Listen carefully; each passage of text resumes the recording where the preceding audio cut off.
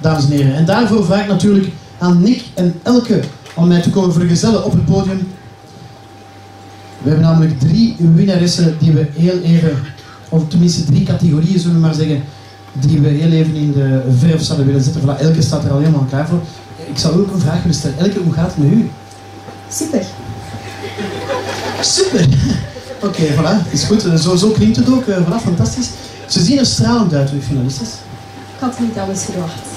Zijn medefinalisten. Het zijn finalisten. Oké, ja, goed gedaan, goed gedaan.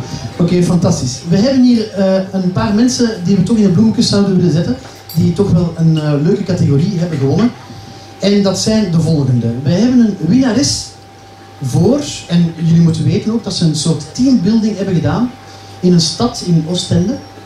En er is een winnares uitgekomen van het stadsspel. Ik heb geen idee wat ze er moeten doen tijdens dat spel. Maar goed, zij weten het wel natuurlijk. Maar er is één winnares van het stadsspel en die verdient een luid applaus. En die krijgt een prijs natuurlijk uit de handen van Elke en van Nick. En dat is Zoe.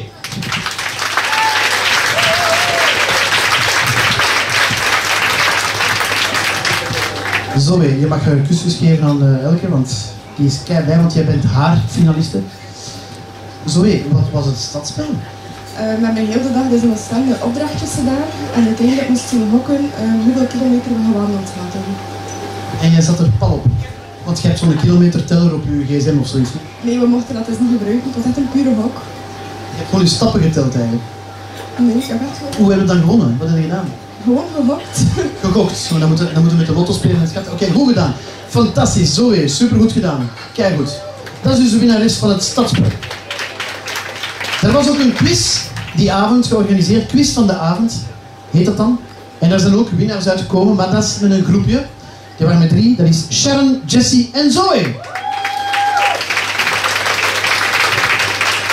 En ook zij krijgen natuurlijk uit de handen van elke een prijs.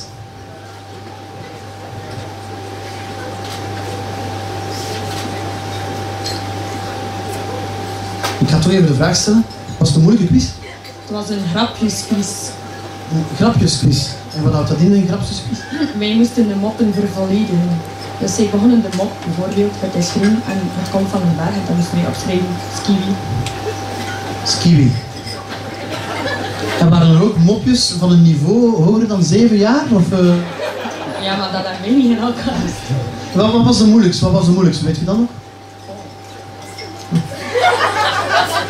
Wat is een astronaut? Oké, dat is een, dat is een eh, inside joke, denk ik. Eh, goed, oké. Maak alsjeblieft een luid applaus voor deze drie knappe kandidaten. Dankjewel, goed gedaan. Quiz van de avond. En er is ook een, het was dus eigenlijk een teambuilding event natuurlijk.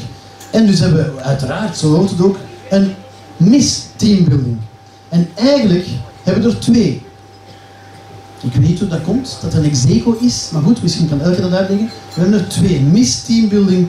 En dat zijn Zoe en Bo. Zoe valt echt wel in de prijzen, het is eh, ongelooflijk. Ze is goed in quizzen, ze kan goed tellen, ah ja, stappen toch? En ze is nog eens goed in teambuilding ook, oké, fantastisch. Beste Bo, wat heb je moeten doen om dat te kunnen winnen? Eh, ik heb dat gewoon in de Ardennen gedaan. Goed inzetten.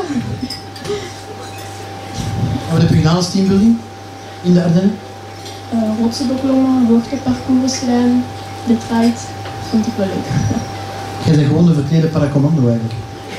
Oké, maar je moet goed... Oké, fantastisch. Maak alsjeblieft een luid applaus voor Zoe en Bo. Dankjewel dames, dankjewel ook Nick, dankjewel ook Elke natuurlijk om deze prijzen te overhandigen.